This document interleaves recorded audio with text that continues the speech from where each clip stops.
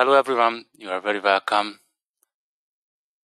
to today's webinar. Today's topic is the design of composite floors, both in construction and uh, final stages.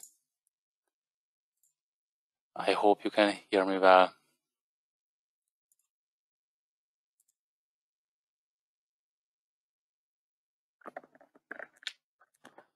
My name is my name is András Hörbély. I'm the sales manager here at the Master Series. Joining me in this webinar, Patrick McGinley. Patrick has recently joined the Master Series team as one of our technical advisor. Patrick worked for various big consultancies in the past and gained extensive experience in structural design.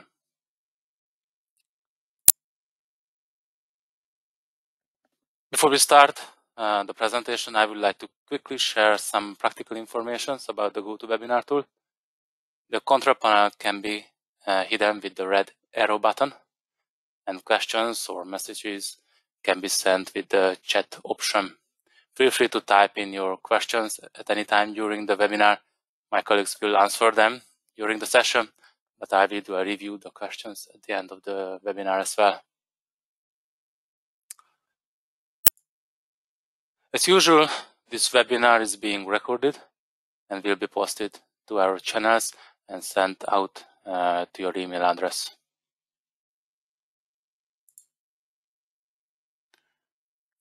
Quickly about the agenda. At first, Patrick will shortly review the benefits and types of the composite constructions. After that, he will look through the design situations, both in construction and final stages.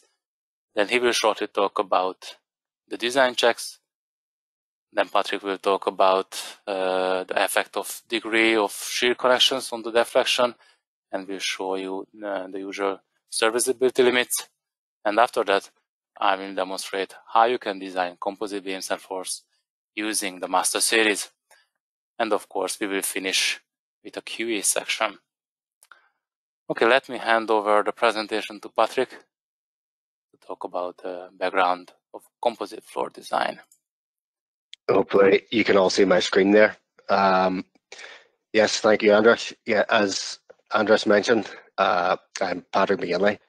I've recently joined Master Series, uh, coming in from having spent most of my engineering career in a consultancy. And I'm a heavy Master Series user uh, in, the, in my consultancy career, so I know the benefits of the software, and hopefully that'll come across in this and many up upcoming webinars. So uh, feel free to engage in the chat box. Uh, if you've any questions, Andras is at hand and he'll be helping as well, as taking the second part of the webinar uh, where he'll be demo demoing the Master Series design. Um, if there's any, any feedback or anything, please do please do get involved. And as Andras says, this will, will be posted up on YouTube, uh, Vimeo, and our, and our website later on. So uh, I'll just mention we do have a preview webinar which Martin O'Gara, the director and lead developer, has uh, showed off some of the new features in our composite designer. It's maybe worth checking out. Um, but the aim for this talk is to understand uh, separate to the Master Series software. Uh, this could almost be treated as a standalone webinar, but really the process of design uh, for the composite decking and beams and not just design as in beam calculations. I mean, design is in really understanding everything from construction and conceptual stage before you begin the model anything in master series. Um, hopefully, uh, will help you develop uh, your engineering career. So, um, so I'll be heavily referencing throughout to the SCI P359 uh, publication and SCI P300. Um, and the first six chapters there, uh, I'll be heavily referencing too. So a reminder of our the structural engineer's role in composite design. So it's our, our responsibility to specify the form of decking, the arrangement, the details, materials and quantities required for the composite beams, sheeting, studs, reinforcement and concrete. So with the consideration of temporary works as well and the form of propping were required alongside fire design and any site-specific safety measures, so it's, it's no mean task for, for the designer. Um, I'll quickly just show a, uh, a sequence uh, where we've got our steel beams and uh, frame, our steel sheeting, studs, mesh reinforcement, and our, and our wet concrete being, being poured. um, and also go through some of the advantages of the composite deck construction. Um, so we know steel has a huge advantage over concrete due to its speed of construction, but uh, even specifically looking at just composite decking versus precast units, for example, the, the steel decking doesn't need a crane to lift in uh, each one in the position, so we would lift it in, in bundles and it can be used for working on immediately. Therefore, it's much safer uh, option as well. So both precast and steel decking, they both need design consideration in the construction phase, which we will come to later. But um, uh, with composite design, we get a, we get a greater service zone as well, uh, so we can incorporate other options such as castellated and cellular beams.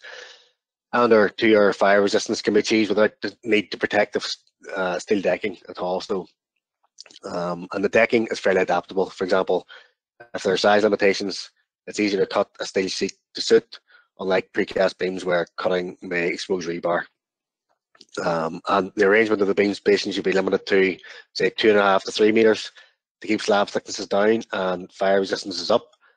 And the most economical arrangement is typically for the primary span to, uh, to be about three quarters of the secondary span. So I've only shown one bay here, so uh, an eight meter by six meter bay is typical, and I've got a just a single um, a single uh, beam in there as well. So overall, composite decks are about optimization. They they meet all the necessary structural strength and building performance needs while being efficient in the amount of material used. Um, we'll go through the process of selecting materials and what we need to know from a designer's point of view.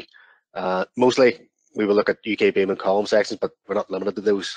Uh, you can use other class one or two sections using similar bending and shear design principles.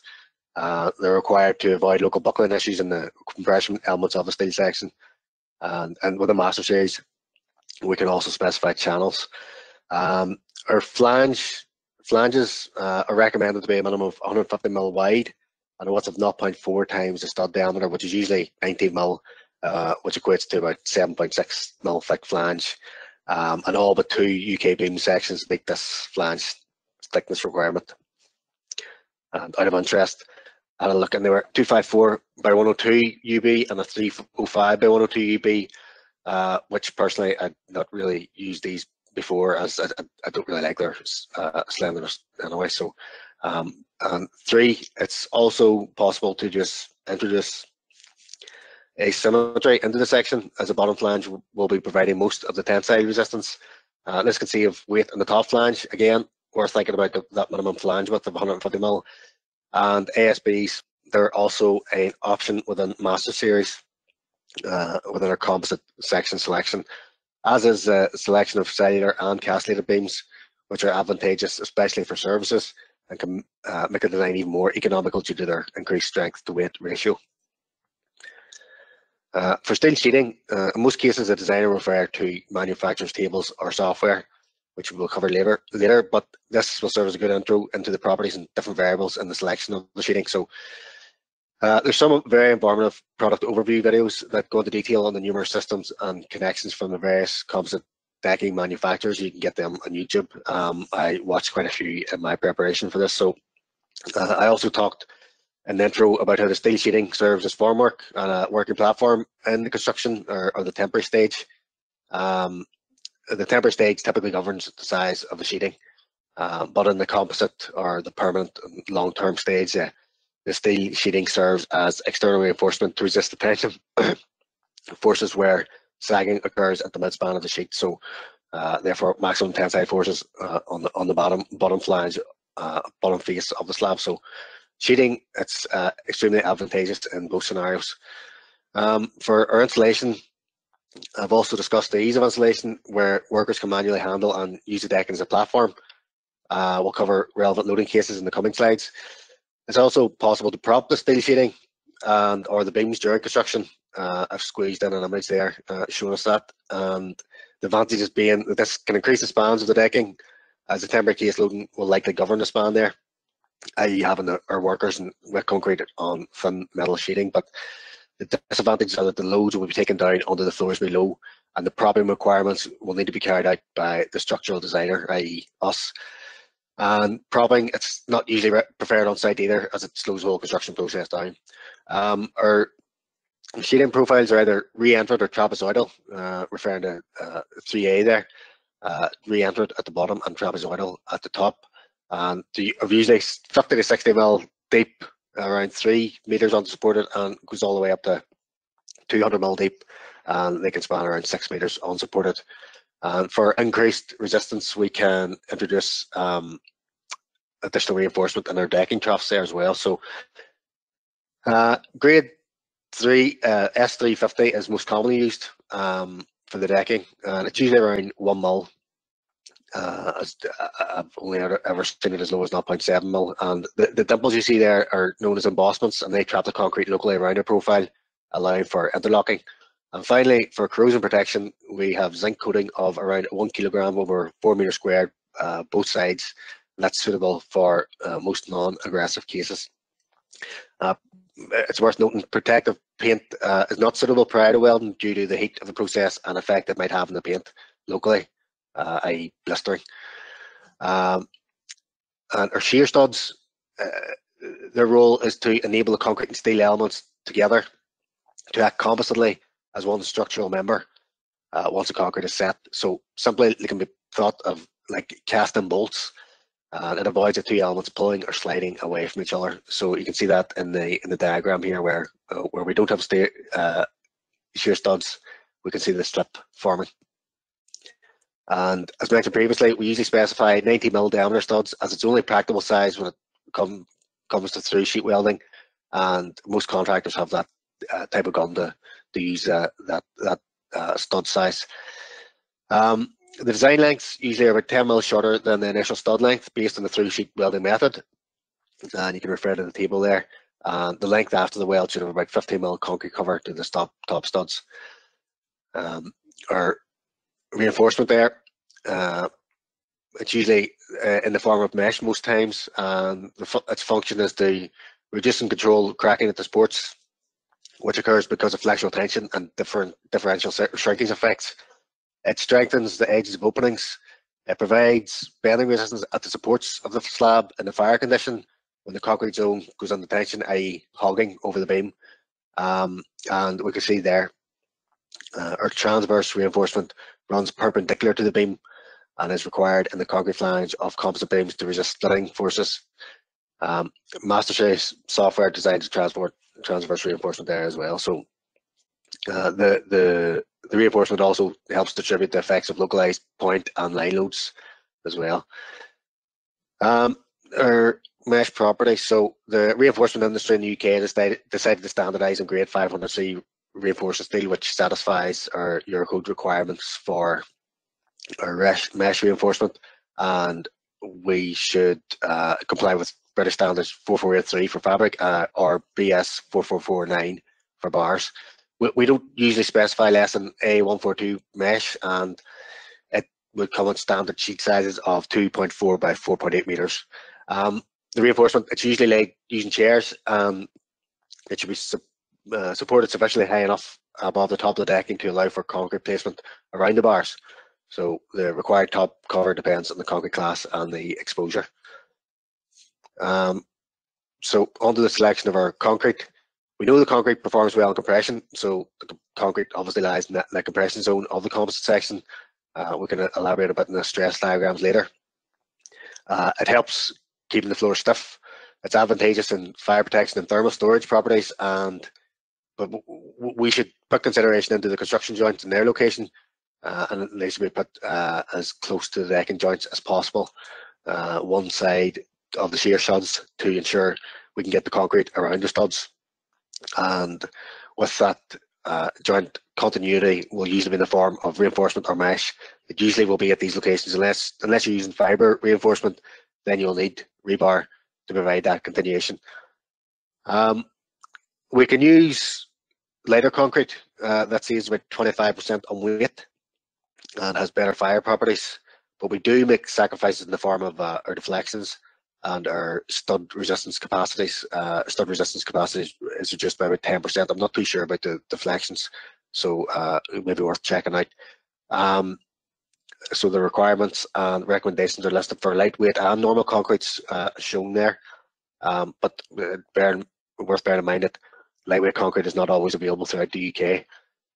Um, we don't usually have any uh, issues with aggregate because of the small rounded pellets used in uh, lightweight concrete, but for normal concrete, we would go for 20 mil uh, to uh, allow us to get into smaller spaces and avoiding increasing our cement concrete, sorry, or in, increasing our cement content, which could increase shrinkage performance of the concrete. And precast planks, although maybe easier in the permanent stage, from uh, our, our perspective as a designer, they're less effective in a number of ways, uh, but we won't get into them here today. So onto the deck loading at the different stages. So we can see there our construction stage loaded first. So construction stage conditions can create problems if we're not careful. Uh, and in my experience, I've been tasked to provide remedial works on projects where the stage is not properly planned or executed. Um, and I think they could have been easily avoided if the construction stage was better understood, uh, maybe more diligence taken in that process. So it's important for designers and contractors to be aware of issues in the stage. So looking at the table, what jumps out uh, is the fact that in the construction phase, the concrete is wet, i.e. non-structural. Uh, so it's only only a load, uh, it's a live load at that. So we're relying on just our, uh, a one mil steel sheeting for our temporary support um, and also our, our, our. So uh, bearing that in mind, if we go through our actual loading on the sheeting, uh, we can see the permanent loads, uh, which are the steel sheeting and the reinforcement there, and our live loads being the wet concrete, the ponding concrete, which we'll cover, and the general construction loads and a move, movable patch load, which uh, if we look, it's greater of, the greater of 10% of slab self weight or 0.75 kilonewtons per meter squared, and that's over a three by three uh, meter working area, and that should be applied to cause maximum effect, i.e. the most unfavorable case for the designer for uh, the, our checks. Um, P300 I think goes into what what we should be considering for the movable patch load and I've shown quite uh, a, a, nice wee graphic there to give you an idea of what what would be considered. Um, I mentioned ponding in the previous slide. So if you can imagine the process of ponding, uh, we've got flexible sheets and beams and a moving liquid attracted to the point of greatest deflection. Uh, and that's that continues. So we have a bending, a bending beam or a sheet. It's attracting liquid concrete. We're, we're creating ponding, which is make creating greater deflection in the beam or the sheet, which then attracts more liquid concrete, and uh, the, the, cycle continues. And like the deflections can get uh, significant there if it's not on, under control. So if the deflection of the steel sheeting is greater than one tenth of the slab depth, the effect of ponding should be considered. Otherwise, it, it may be ignored. And where it is uh, an allowance is made, the depth of the con concrete should be increased by uh, a factor of 0.7 uh, W1, where W1 is the maximum, the vertical deflection of the steel sheeting at the wet concrete stage, and that should be treated as a variable action. So I've also included an example calculation of that might help you get an idea of the numbers involved there. Um, it should be noted that where laser leveling techniques are employed for floor levels, uh, the slab depth will be greatly influenced by the selection of the beams and sheeting. An alternative leveling technique is through constant thickness as opposed to constant level. So worth uh, worth bearing that in mind. And likewise for beam or beam loading, uh, are, uh, the loading conditions are very similar, except we take into account the self weight of the beam, and it suggested that with good site control, the movable patch load could be neglected for the beam, um, and that's the responsibility of the designer to make the contractor aware of these assumptions. Um, deflection due to ponding usually just governs the design, support the wet concrete and the construction loads, which I'll talk about. Um, and we usually take an absolute limit of 25 mil to avoid allowing for ponding in the beam design, but ponding is considered. Uh, I'll quickly summarize here. Uh, the quote from SCI P359, taking into account the constant level leveling technique. The slab thicknesses for the design of secondary beams increase is increased by up to 70% of the beam deflection plus 70% of the deflection of the sheeting and up to 100% of the deflection of the primary beams. So that's for the secondary beams and for the design of primary beams, the increase is 70% of the combined deflections of the sheeting primary and secondary beams. So um, again, I've included some sample calculations here, but again, rather than crunching numbers, it's, more to get a, uh, an understanding of the, the deflections here. Uh, for designing or steel sheeting, this is usually done by the manufacturers based on testing that they've carried out. Um, so, uh, depending on the floor geometry, single span sheets can be used, but design the design is more beneficial for continuous sheeting.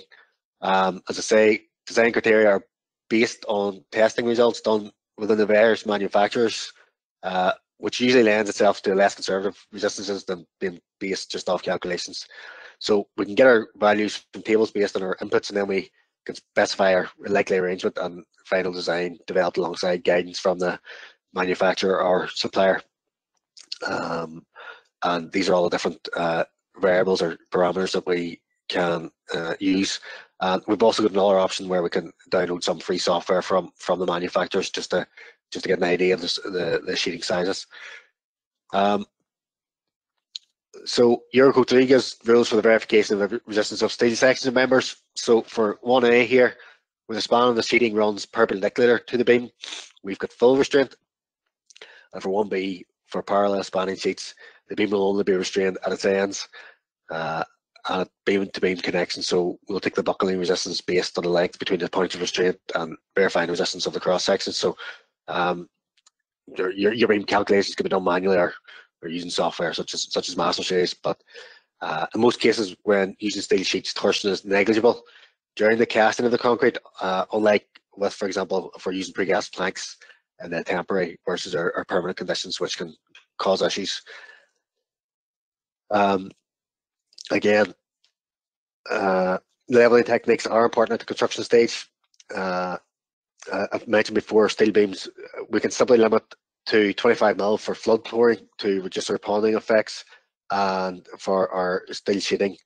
Um, if ponding is considered based uh, sheet deflection, add 75% of that deflection on the slab like this for design. So again, um, some some quick calculations. So with ponding or sheeting, uh, we've got a span over 130 or 30 mil, whichever's uh, smaller, and without ponding, span over 180 and 20 mil. Um, so we've talked about the construction stage uh, loads. Now on to our composite stage loads, where uh, we can see now that the concrete has cured, it's now contributing structurally to the deck and has moved into the permanent load category. And we've got a we've got a supporting deck structure of uh, of a composite deck rather than just a, a steel sheeting. So we obviously have no construction loading now, nor movable patch load, but we do have occupancy and partition loads. Um, to finish off, we'll get on the behaviour beams and shear studs and get an understanding of how they work at permanent stage. Now, um, referring to our boxed red beam down here, the the amount of concrete available to resist the compressive force due to bending is limited by its effective width. So you can see that at the midpoint where maximum bending uh, occurs, the effective width of the concrete is the greatest, reducing over the last quarter uh, of the beam to the support. Um, just it's it's it's also recommended to avoid putting any holes in this zone as you're uh, reducing the effective width of the concrete flange, and this can seriously affect your design and may reduce the design flange width to the inside face of that opening. Um, in elastic design, a constant width of length over four can typically be used along with full width. Um, another note, if we look at the top, when considering the bending resistance of the composite section, the tensile resistance of the concrete is ne neglected below the neutral axis, and the profile steel sheeting is ignored when in compression. So I've highlighted that here in yellow. Um, yes, uh, so there's there's no no action from the, the concrete or the or the decking there. So all three diagrams on the left here are plastic stress distribution diagrams when the shear studs are fully utilized, i.e. when the stud's capacity to transfer the force is greater than the force that has the concrete failing in compression or the steel beam failing in tension. Um, the top diagram represents a typical secondary beam and the bottom two diagrams show a typical primary beam and on occasions the steel section actually offers more tension resistance than the concrete flange can match in resistance. So the neutral axis moves down to the flange of the steel section or as low as a web here. Uh, we can also ignore the tensile resist resistance of the concrete and compression resistance of the sheeting again, except this time when we're below the shear stud level. Um, so all these checks are covered in the, the guides in detail as well. So, um, and finally, when the full compression resistance is not required in the concrete flange and shear studs are sufficiently ductile and not fully utilized, we get a partial stress distribution as highlighted in the blue box over here. So um, finally, we'll talk a little bit about the shear studs. And I'll, I'll try not to get too technical or number crunchy uh, on this, but just to give you an understanding of how they work and what we're designing for. So the design resistance is a function of the shape of the decking profile, uh, the size, strength, and number of studs per decking trough, uh, or concrete properties and the sheet thicknesses. So first, looking at how the beam acts as a whole, uh, puts load onto the studs longitudinally. So referring to the first two, two diagrams, uh, one and two, uh, we can see the, where the slip distance increases towards the ends.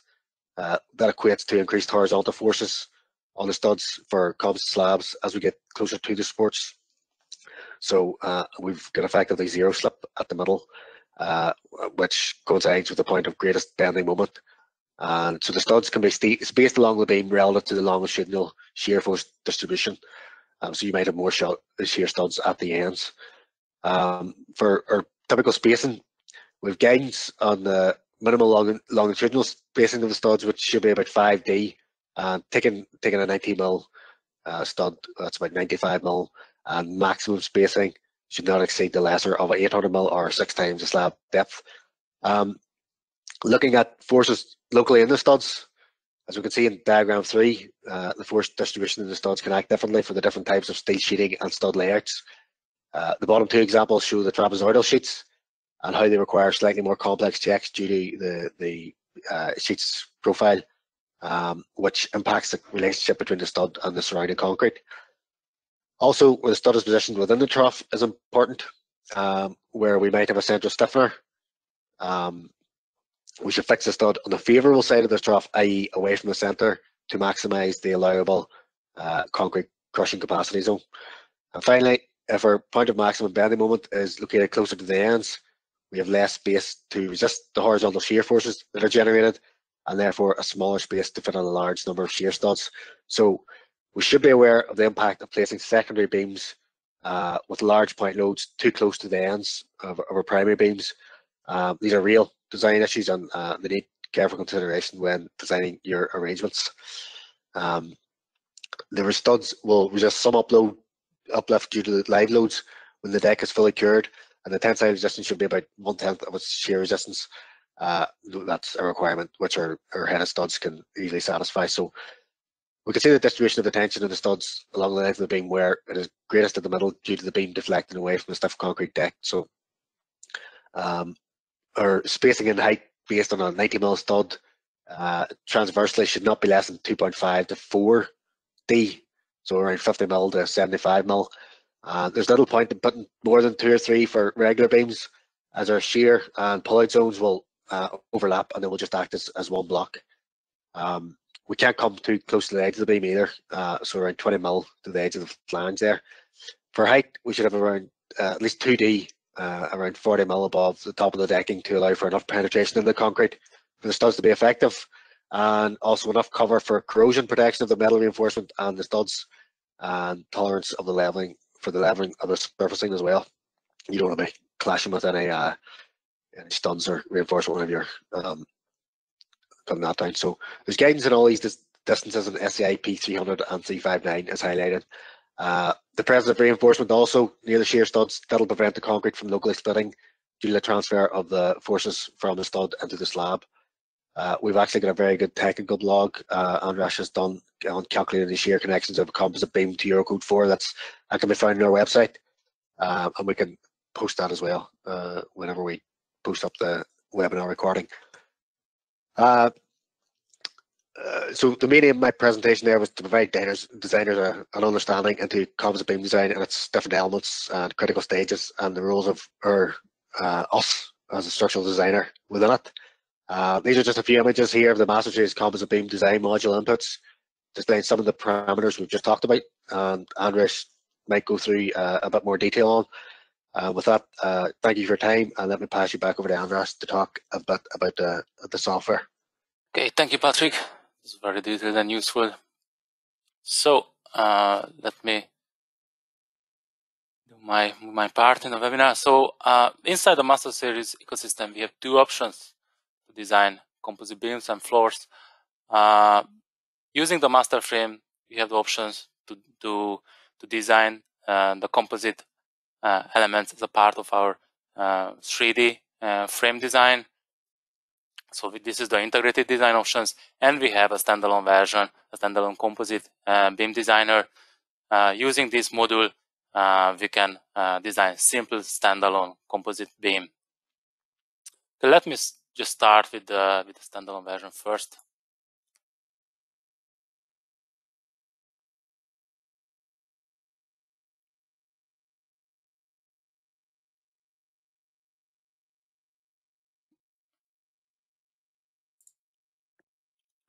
Okay, new model.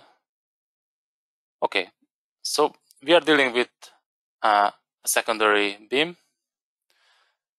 Mm, let's say 7.5 meter long, and we have three meters to the left and three meters to the light uh, to the uh, to the right.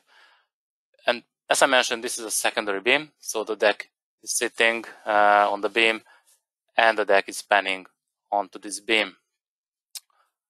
Okay, and we are gonna go for a four meter, let's say office live load, and we have one kilonewton per, uh, sorry, four kilonewton uh, per square meter office live load, and we have one kilonewton per square meter partitions and 0.5 uh, service load. Let's move forward uh, to the section information. So we are gonna go for, for example, let's say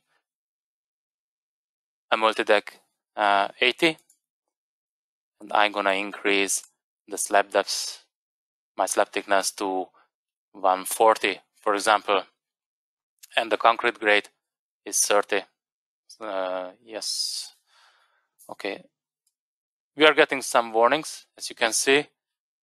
So if you see the first one, uh, the, the, the warning is telling us we need uh, we need a minimum 180 height stud, and uh, and, we, and we can also see that we have some uh, ductility issues as well. So let's increase the change the uh, the stud first.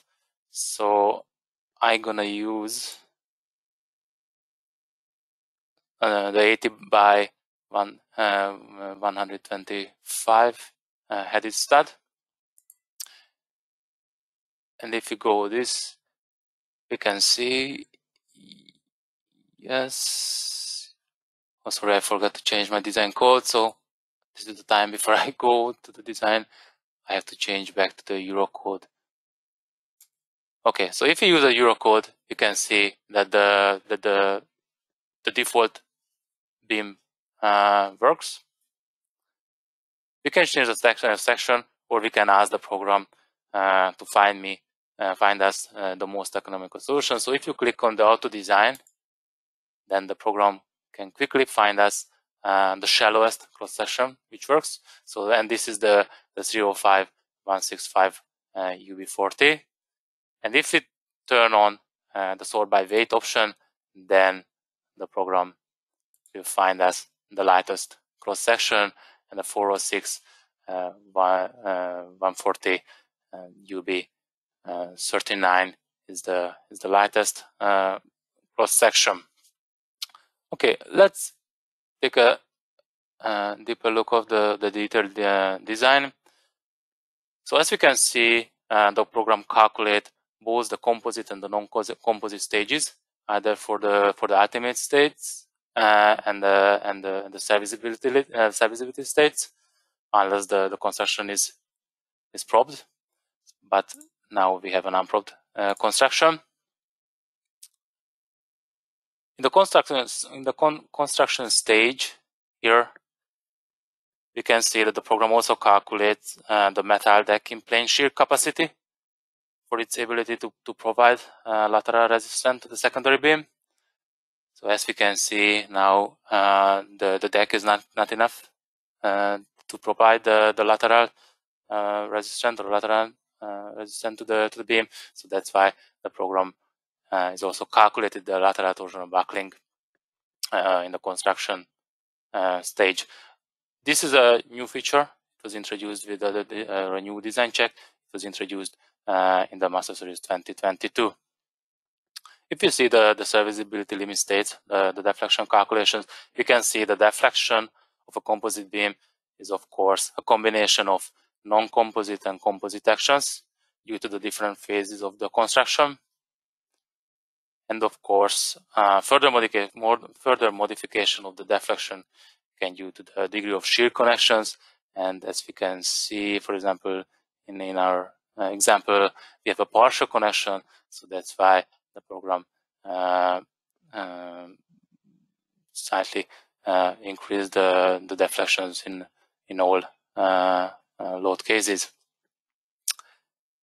And the last check is the vibration, vibration analysis. The composite module contains a check on the structure, on the natural frequency uh, this is done using a single degree of freedom uh, approximation, and this is only for composite stage since the vibration occurs uh, in this stage. And uh, the 4 hertz uh, limit is, is, based on the SCI guide, but of course, if you want, you can change it in the, in the design assumptions. Okay, so this is how the, the standalone uh, version of the of the composite beam designer works. Let's go to the the master frame and see how the the, integrated design works. So I have, have prepared to the a 3D model for you. this model is a level of a larger frame, but to save time, I'm going to focus on this level only. And of course, this is a composite floor. But before I uh, jump in the in the design, I'm gonna show you how you can set a level to a composite in the master frame. This can be done uh, uh, on the on the levels and construction default screen. So here in the level of construction screen, we, we have the options to turn on the composite pro uh, as, a, as, a, as a global function for the whole uh, building or the whole uh, structure. And if it's turned on, then we can set the composite properties for each level. So for example, if you select the level one, which is our current level, here we can set whether a level is a composite level or not. So here we can turn on and off the composite uh, construction for each level. We can use profiled and uh, solid uh, slab deck type. So now it's, it's profiled, but if you want, we can use uh, solid slab as well. If you use the solid, if you select the solid, then we have an options to use hollow core units as well. So we only need just to put in uh, the dimensions to use hollow core units. Okay, let's go back to the uh, to the to the profile version, and I'm gonna use the same multi-deck 80 that I just used uh, in, the, in, the, standalone version. Okay, let me see what let, let, let's see what we also have here. So the slab thickness is 150. We have a 1 kilonewton per square meter dead load. We have a 4 kilonewton per square meter live load. And of course, we have uh, the, the, the, composite loads as well. So we have uh, the construction load, mesh and deck as a dead load at the van density for the wet uh, concrete. Okay, and the area loadings uh, uh, have been applied with these floor panels. So I have applied these floor panels, and the and the gray uh, arrow shows uh, shows the, the the spanning directions. So these are so it's uh, it's uh, this, these are the the spanning um, directions. Okay, and I also applied sorry, and I also applied uh, semi-rigid uh, stiff deck uh, the, uh, to make uh, it work as one, to make the, the, the, the floor um, work as one unit. Okay. So we can go ahead and analyze uh, this very quickly. So static analysis. And here you can see the load cases. The first five load cases are the generated uh, special composite load cases. The load case one is analyzed using the fully composite action. So this, the, this is the load case uh, using the fully composite action. Uh, the load case two to, to five using non-composite actions. And these load cases are used to calculate uh, the components of the deflections and of course the the ULS both in the in the in the ultimate and the serviceability cases. And from load case six onwards, all, all composite beams are analyzed using the, the full composite actions, of course. Okay, space frame analysis. And yeah. Yet I have to mention, because the composite cross-section properties are calculated within the composite design, uh, this means prior the composite design, the properties are not known. Therefore, the first analysis run of the master frame model will be based only on the, uh, the steel section. So after the beam design is completed, we need to rerun the analysis. Okay, so before I jump uh, in the design, I would like to show that I have already introduced some design groups. Sorry, this is not the design group. This one is the design group. So we have several design groups. So for example, this is an internal secondary uh, beam group. All beams in the same group are going to be designed for the same deflection limits. So here you can see we have several deflection limits for each cases. Uh, these uh, enhanced uh, cases were also uh, introduced with the 2020 version of the master series, and we have some additional additional options as well. So we can we can make the studs the same for the whole group. We can make the mesh rebar the same for the whole group. These are all, these are all new. Uh, and were, these were introduced with the 2020, uh, 2022 versions. And we have the make section the same for the whole group. Okay. So we have an internal, sorry, I have to move this one. So we have a, we have an internal secondary beam group. We have an edge primary. We have a short secondary beam group. We have an internal primary group. We have an edge secondary. We have the trimmers and we have uh, a group for the self-formed beams. We have some self-formed beam, beams just for fun. The self-formed beams have done them all individually, so these are not at the same section size. So I'm gonna make the mesh rebar for the same for the whole group only. Okay, so these are the design group. So now we can go to the composite steel beam composite design.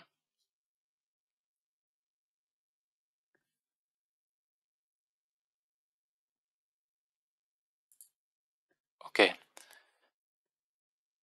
So let's start uh, with the internal uh, secondary beam. So I can select, if, if, if I select any of the beam uh, inside the group, then you can see all the other beams in the same group are also highlighted. So we've got, uh, we've got uh, 356 uh, 171 UB uh, 67 and it works. Of course in uh, 355 steel and the stud is 90 by uh, 125 because of the of the of the deck size. And yes it's, it's working. So we can we can change the cross section and of course uh, the program automatically uh, recalculate uh, the, the the design or we can use the auto design and we can ask the program to find me the shallowest one for all the members quickly. Or if we turn on the short by weight, then you can see the program can find me a slightly lighter cross section which works uh, for the for the for the for the secondary beam beams. Okay, so this was uh, this was my uh, secondary beam. Let's move over to the to the primary internal beams. So this is the primary internal beams. So as you can see, we have uh, we have uh, two beams, uh, two beams connected from both sides. and if you turn and and if you click on the auto design, the program can find me quickly uh, the lightest uh, cross section which works. So this one is the lightest, the the 610 uh, 178 UB uh, 82. So this is the uh, the lightest cross section. Okay. So the, these are the, the simple beams, but of course there are some, some special beams as well. For example, this is a mixed beam, the mixed internal beam. It's, it's secondary from from this side and primary from this side. And of course, we can design it as well in the master series. So if we click on the auto design and the program can find us the lightest cross section very quickly. And yes, 533, uh, 165 UB, uh, 66, the lightest cross section which works. And we have, um, we got uh, two studs per trough. So this is, and of course, the mesh is the default uh, 393. Okay, so this was uh, a mixed primary beam. If we go to the to the trimmers, we can see that, oops, it's a very big uh, section. Never mind. So we can see if we turn on the, the gravity. So this beam, uh, this beam is classified as an edge beam because we have area here, but we have big openings on the other side. So that's why the, the program classified as an edge beam. And of course, you can size that up to, to find the, uh, the, the, the lightest cross section. So if you click on the, the auto size, then the program can quickly find me and the lightest cross section. It's 178 uh, 102 UB uh, 19. So it's a very uh, small cross section, but we have an option. So for example, if we want, so we can ask the program to find me uh, the, the, the, smallest cross, uh, the, the find me the cross section, uh, but the, the, the size of the, um, the, the cross section, let's say 200 mil. So if you click on it, then you can see 203, 102, uh, UB23 is the lightest cross section in this case. Okay, so this is how uh, an edge beam uh, works. So let's move over to the to the cellular beams. So we have some cellular beams in this model. Of course, we can do cellular beams as well. Oops, sorry, I turn off the, the air loadings.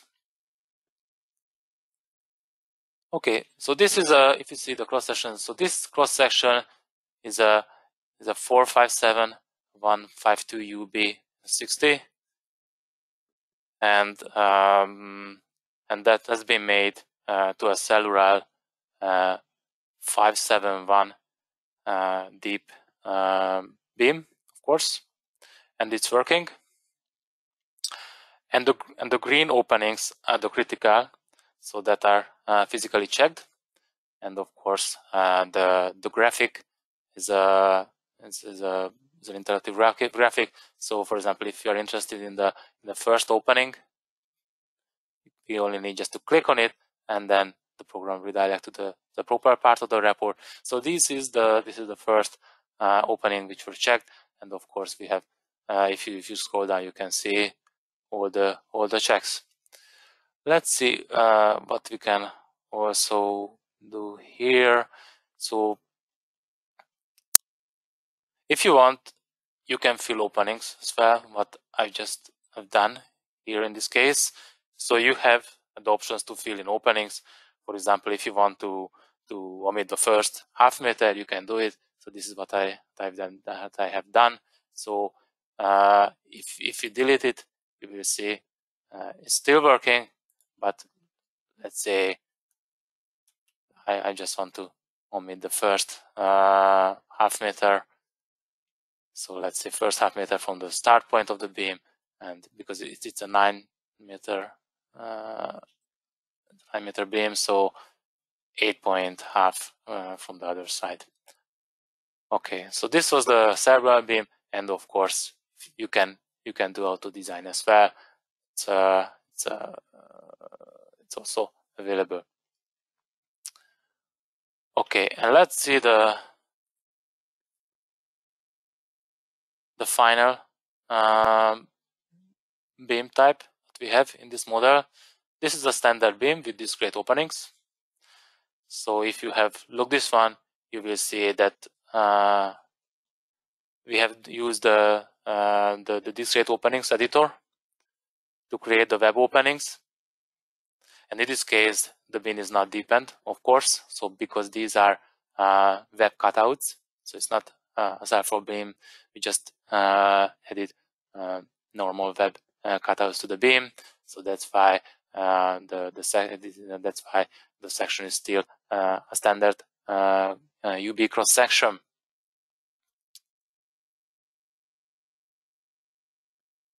And of course uh, any web openings with uh, uh, with with uh,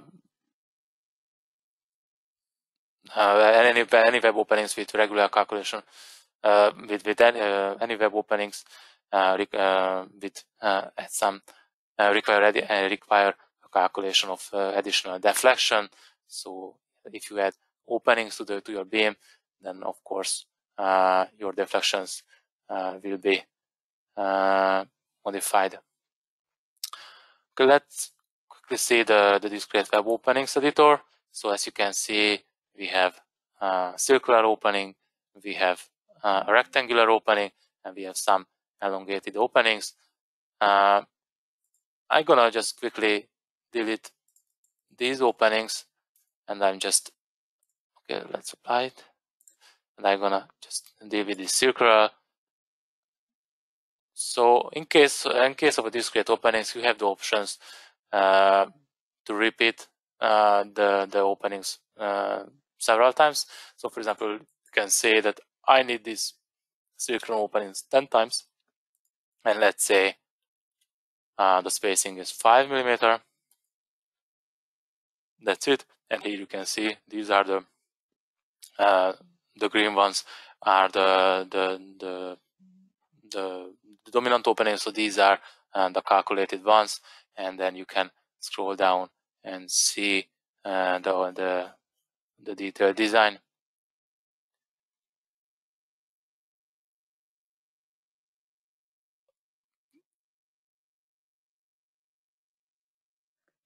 Okay, so that is the the, the main uh, functionality. So these are the main functionalities, uh, composite design functionalities in the in the in the master series. Of course, uh, there is more in the master series, so you can do slim floor if you want. Uh, you can apply uh, precamber uh, for non-prop composite beams if you want, and so on. So, ladies and gentlemen, I would like to thanks everyone to attending today. I hope you enjoyed and learned in this presentation and see you on our next webinar. If you have any questions, you can get in touch with us on our usual channels. So you can see uh, our usual channel uh, channels. If you want to try out the software, just go to the Master Series website and fill uh, in a request to do so.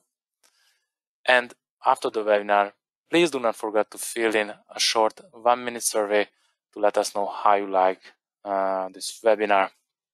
So thank you very much again uh, and goodbye.